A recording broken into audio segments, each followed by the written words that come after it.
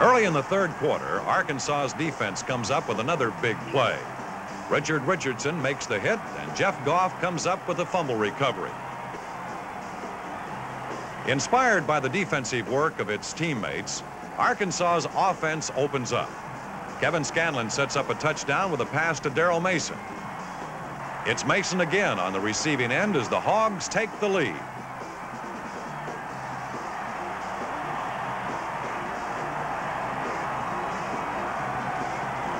Jim Elliott stops a Texas drive with this tackle behind the line of scrimmage.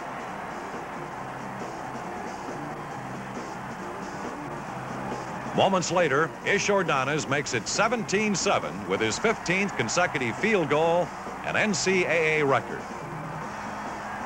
The Razorbacks spend the rest of the afternoon staving off Texas rallies. The Hog defense proves up to the task with plays like these by Billy Ray Smith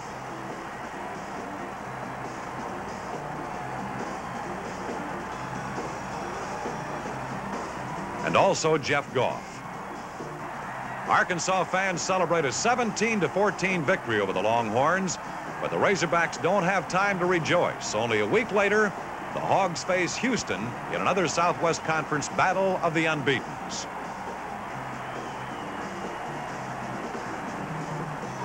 Gary Anderson gets Arkansas off to a good start with a 46-yard sprint that sets up a field goal.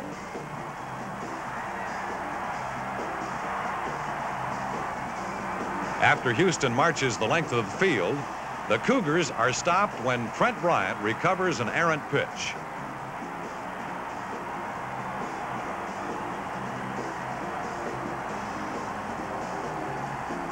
Arkansas's defense is outstanding all day long. Here, Kevin Evans saves a possible touchdown with this deflection.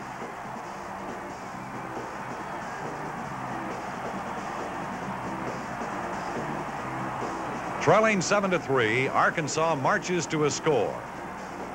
Kevin Scanlon hits Steve Clyde for 11 yards. Then Scanlon runs 23 yards himself.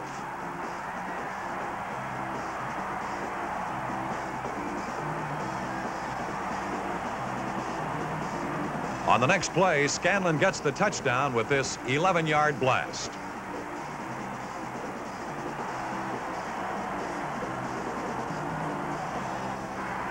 Jim Howard and company make the big plays on defense. Jeff Goff will recover a big fumble.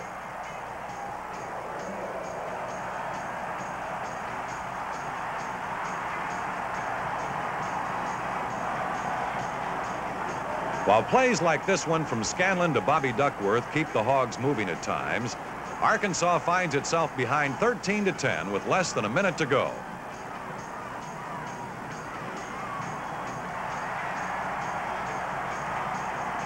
On third and 10, Scanlon teams with Gary Anderson for 11 yards.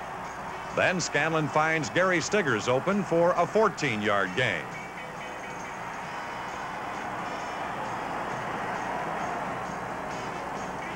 This pass from Scanlon to Robert Farrell with four seconds left gives the Hogs a last chance.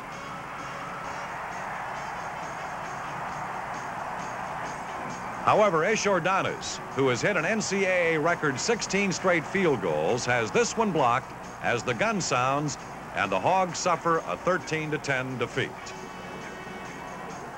A week later, the Razorbacks rebound against Rice. Kevin Scanlon has a near flawless performance, hitting Robert Farrell for big gains and taking this one seven yards for a touchdown. Rice, meanwhile, has trouble coping with Arkansas's defense, as well as plays like this one from Scanlon to Gary Anderson.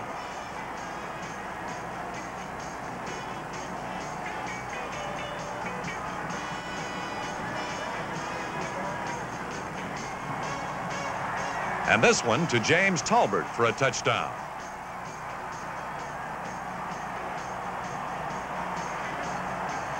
Arkansas's defense contains Earl Cooper in the second half and comes up with big plays like this interception by Randy Wessinger.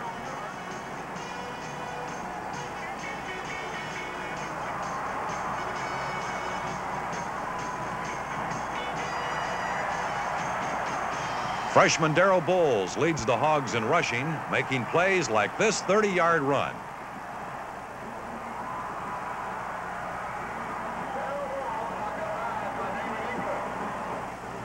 Scanlon wraps up the 34-7 win with this 35-yard scoring toss to Gary Stiggers.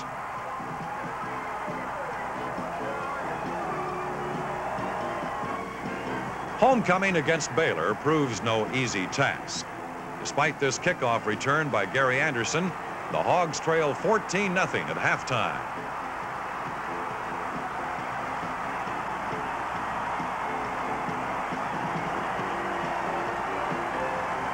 The Razorbacks find themselves in a 17-0 third quarter hole when Roland Sales put some life into the Arkansas offense. Kevin Scanlon hits Robert Farrell to keep the march alive.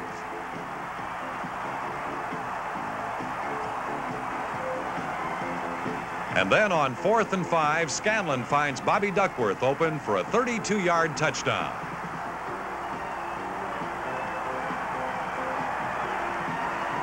From there, the Porker defense takes over. Randy Wessinger sets up a field goal with this interception.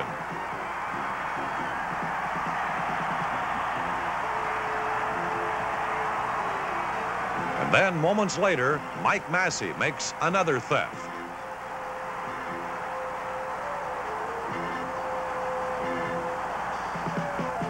Still, the Hogs trail 17-9 when Jeff Goff attacks from the rear. He causes a fumble into the Baylor end zone, and Danny Phillips sets off a wild celebration with his recovery for a touchdown. Robert Farrell then makes a sensational catch of a Kevin Scanlon pass to even things at 17 apiece.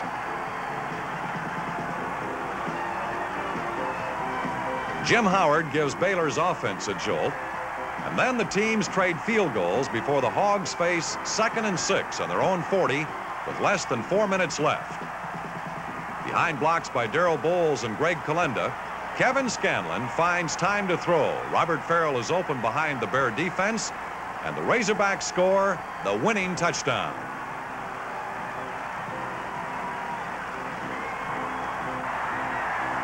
Arkansas's defense provides insurance against a Baylor comeback.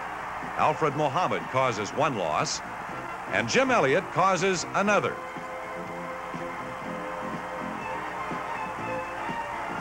Finally, Baylor's quarterback has no place to go, and the Hogs win 29 to 20. With Arkansas playing for a spot in either the Cotton or the Sugar Bowl, the Hogs take on Texas A&M in another key matchup. Darrell Bowles runs 57 yards on this play en route to a 169-yard afternoon. Arkansas's defense shuts off the Aggies. Johnny Hector runs into trouble on this play. And Kim Dameron limits this play to a yard gain.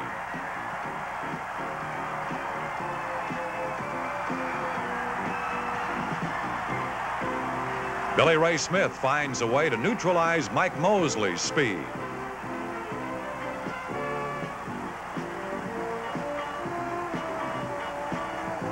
Gary Anderson proves nearly as explosive as Bowles in the game and breaks 16 yards to set up a field goal.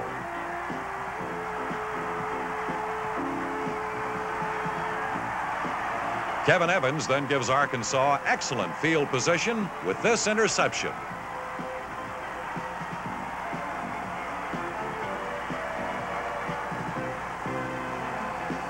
Darrell Bowles explodes for 20 yards to set up this field goal by Ish.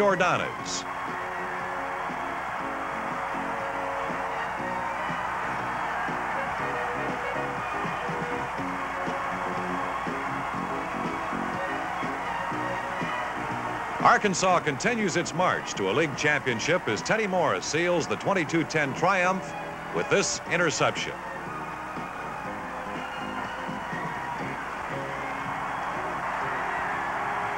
It's the final night of the season, and the Razorbacks don't know whether they're headed for New Orleans or Dallas.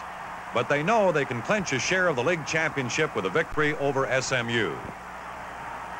Even Lou Holtz is smiling as the Hogs get off to a great start. Richard Richardson jars the ball loose, and Jeff Goff makes the recovery. On Arkansas's next offensive play, Kevin Scanlon hits Gary Anderson for 14 yards.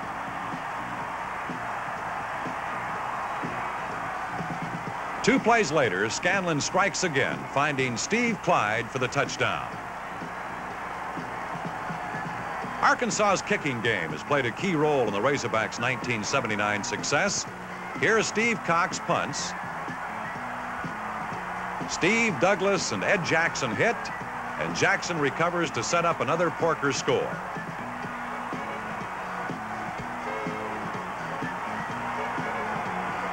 Kevin Scanlon finds Bobby Duckworth open for 18 yards.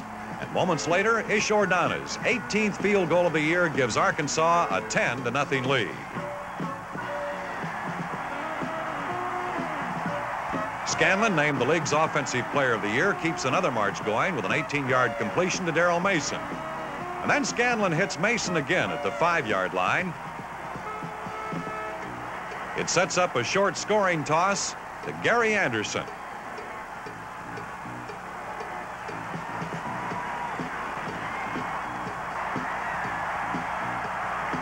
Kevin Evans, an all-Southwest Conference defender, keeps the pressure on SMU with this interception.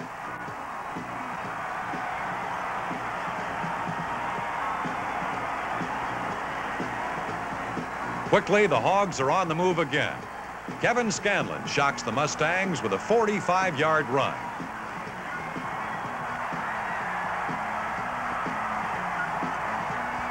Then Scanlon hits Steve Clyde for the touchdown.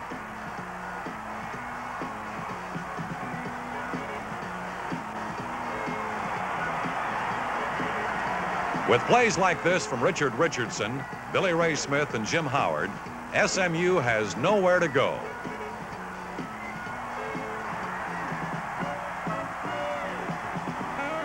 Arkansas is still going, though. Darrell Bowles dashes 31 yards to set up yet another touchdown.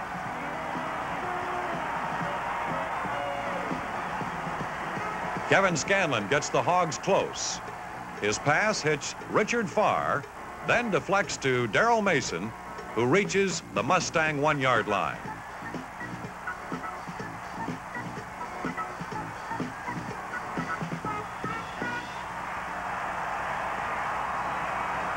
Scanlon gets the final touchdown himself. Plays like this interception coming up by Kevin Evans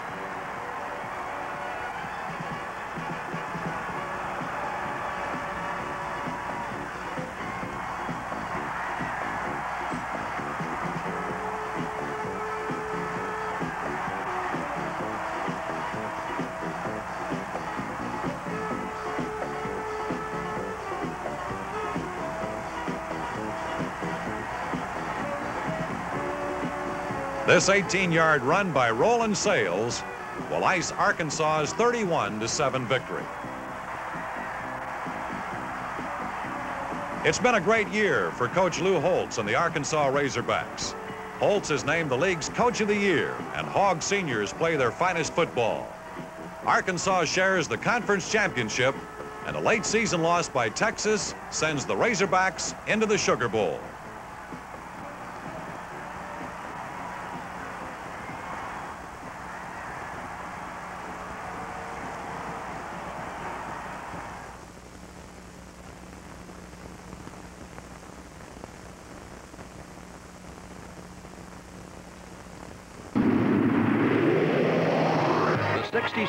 Southwest Conference football season kicked off the 80s in typical Wild West fashion. Unparalleled competition characterized the renewal of rivalries dating back more than half a century. All nine Southwest Conference teams intensely drove toward a common goal, a coveted berth in the Cotton Bowl. Preseason polls were thrown out the window as upsets became the rule. The sideline excitement and pageantry alone were well worth the price of admission. For the fifth straight year, turnstiles spun at a record rate as more than 2 million fans came out to cheer their teams on.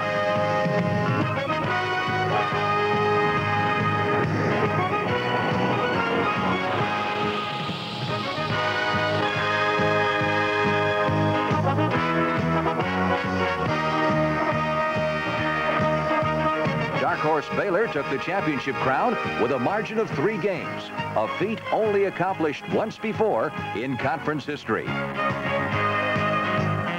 Five conference records tied or broken. Five postseason bowl invitations won by conference teams. There was week-by-week -week excitement, not to be found anyplace else in the country.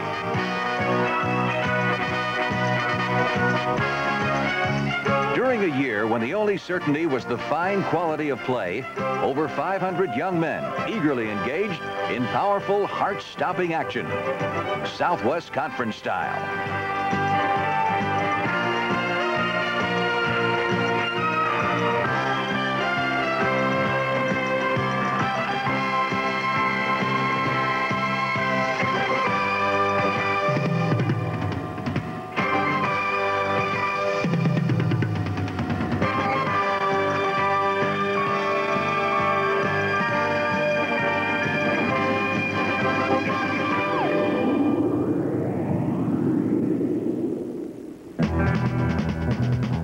Texas in 1979, co-champion Arkansas moved the inaugural game up to Labor Day before 70,000 fans in Austin's Memorial Stadium and a nationwide television audience. Texas had plenty to cheer about as the offense gained over 160 first quarter yards. But Arkansas rose to the occasion, holding the high-powered Longhorns scoreless for the quarter. The Razorbacks regrouped their offense and found the missing piece to the puzzle by springing sophomore running back Gary Anderson.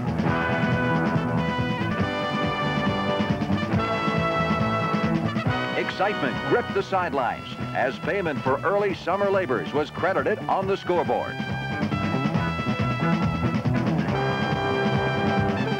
But all wasn't over so fast as the pigskin turned Longhorn. Texas A.J. Jam Jones pranced in for the score, and for the next 25 minutes, the Horns took total control, scoring 20 points while yielding only a field goal.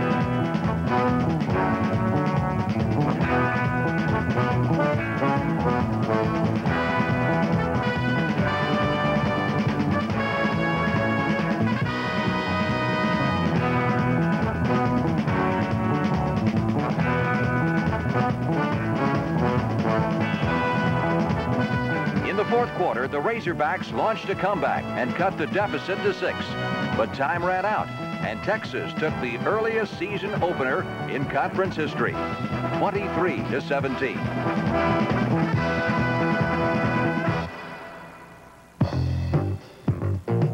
The other 1979 co-champion, Houston Cougars, opened their title defense against a surprisingly strong Baylor Bears club. Cougar coach Bill Yeoman and Baylor coach Grant Teaff both had the same question. How good were those Bears? After spotting the Cougars a pair of field goals, the Bears went on an 85-yard, seven-play scoring drive. Quarterback Jay Jeffries was the key, accounting for 68 yards, including the final play in the drive, a scoring toss deep in the end zone.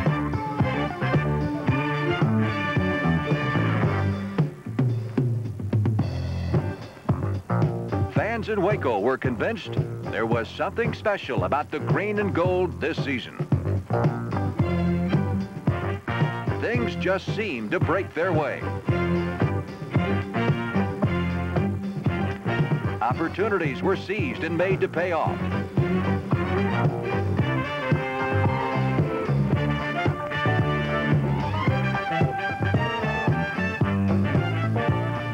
Cougars emerged from their den long enough to cut Baylor's lead to five.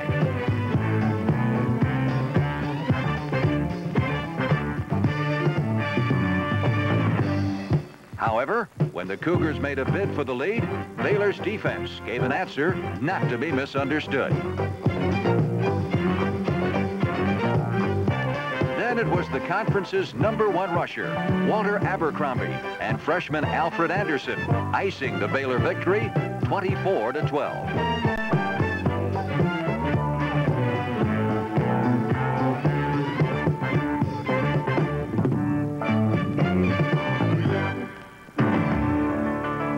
The music played at Southern Methodist University had a familiar melody in 1980, Winning. SMU's 8-3 posting and second-place Southwest Conference finish were its best season and conference records since 1966. 1980 also brought a top 20 ranking and a trip to the Holiday Bowl.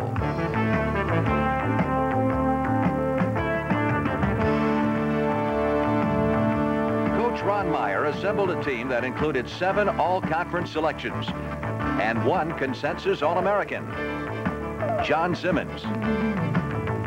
The senior defensive back returned two punts for TDs, picked off seven passes, and scored 24 points out of his secondary position.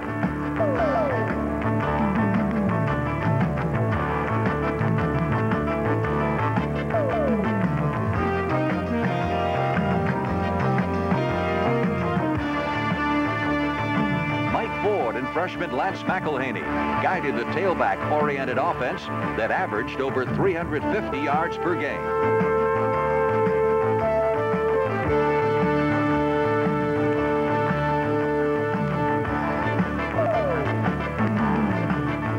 Splitting tailback duties, Eric Dickerson and all-conference selection Craig James delivered performances that brought back memories of the Doak Walker days.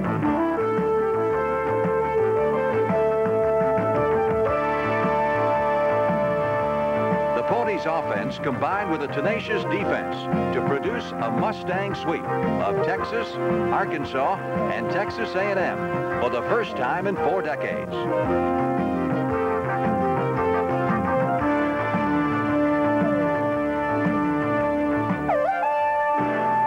SMU's impressive showing in 1980 served notice that Mustang Mania is alive and well in the Southwest Conference.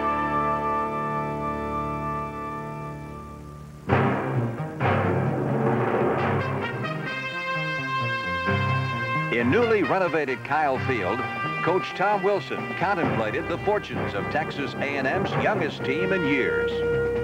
Senior signal caller Mike Mosley was expected to be the solidifying ingredient, but his senior year would be hampered by nagging injuries.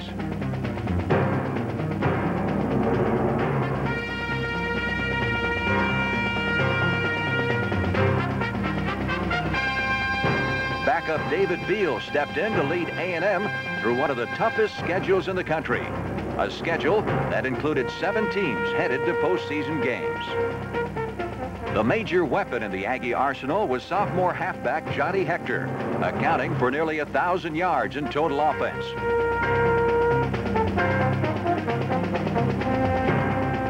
Number 32 kept excitement high in College Station.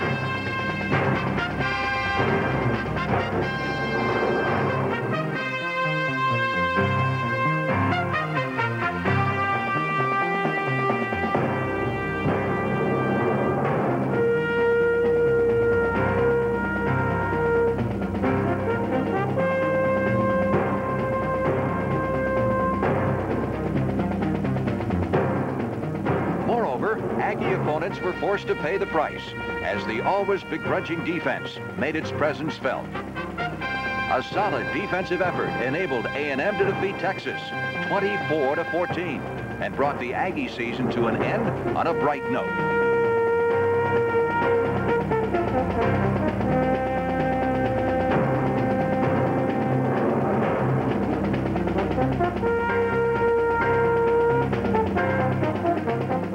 Injury 1980 was a rough year for A&M followers, but experience gathered by young players forced into service, and the return of Hector's long strides could bring big dividends in the future.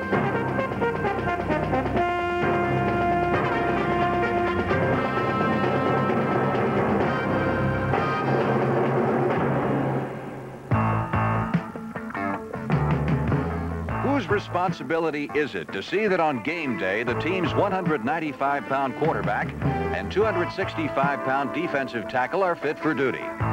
In this violent collision sport, that burden lies with the team trainer. Whether it's added reinforcement during the heat of battle or treatment of game injuries, Southwest Conference trainers are a dedicated breed, like Cash Birdwell, head trainer at SMU. I feel like the trainers in the Southwest Conference are a close group.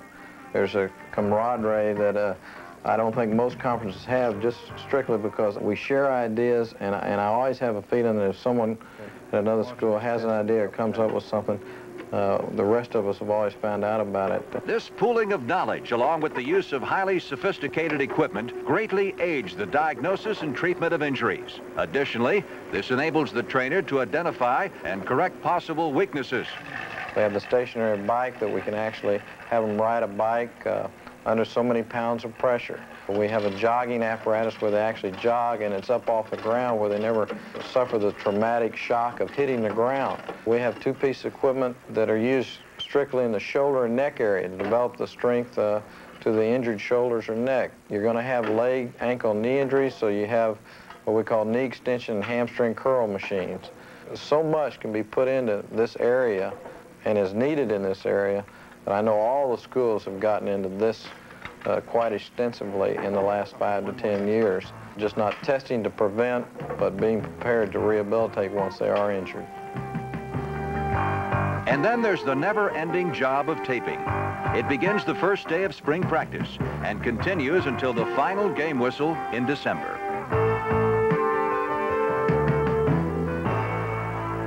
Seven miles of tape per day, even more on game day, readies the team for contact.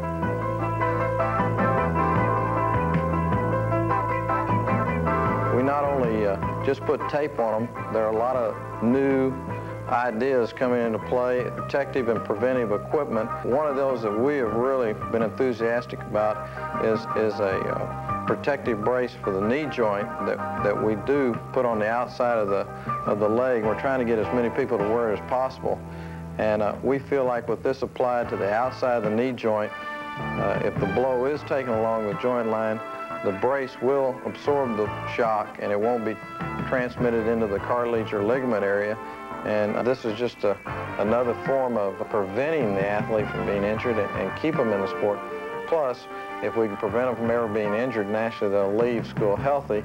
And I think this is upmost in all the trainers' mind in the conferences. With the motto, prevention is protection, there's one thing for certain. Southwest Conference athletes are exposed to the very best that modern sports medicine can offer. Despite TCU's record, there was a lot to cheer about in Fort Worth. Coach F.A. Dry had opponents doing double takes, wondering how the Horned Frogs could be a 1-10 team. Five times victory was stolen from the Frogs in the final two minutes. However, their come-from-behind victory over Tech showed what kind of backbone they possessed. Hard work and determination were the team's hallmarks. Steve Stamp, hero of the Frog comeback victory, led the conference in total offense and tied a Southwest Conference mark with four touchdown passes against Texas. All conference selections, Stanley Washington, number seven, and leading conference receiver Sammy Stewart were the main TCU targets on the only conference team to average over 200 yards per game through the air.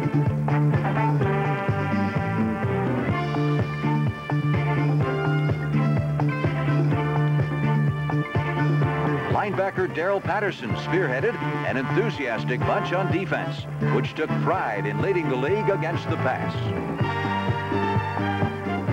Take that determination and enthusiasm and add to it frog fever, and next season looks promising indeed. For the fourth year in a row, Arkansas under coach Lou Holtz registered winning records for both conference and total season.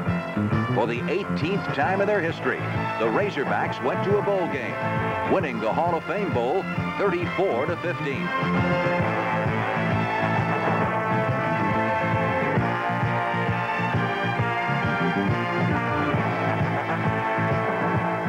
Hogs were proficient on offense. Their defense was particularly outstanding. Three players made the all-conference team. Nose guard Richard Richardson, defensive tackle Billy Ray Smith, and quarterback Kevin Evans.